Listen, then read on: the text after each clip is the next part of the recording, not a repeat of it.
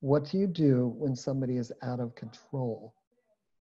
How do you companion someone who's angry, who's been waiting too long, you know, whatever it is, who's scared? How do you companion them? And it's very important, really, to, to meet them right where they are and use the same volume of voice that they're using. You know, it sounds very counterintuitive because you want to calm them down. All that does is make them feel worse and misunderstood. And so, meeting someone right mm-hmm. where they are, if somebody's yelling, yell with them.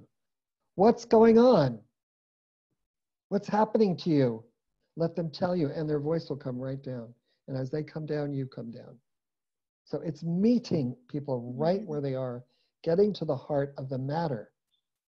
What is it? And not what's wrong, but what's going on? What's happening? Tell me. I'm here for you. Instead of trying to suppress them, because that does the absolute opposite. Yeah. I'd love to do yeah, that's, this go out to the police because they need to understand this strategy of companioning in a crisis.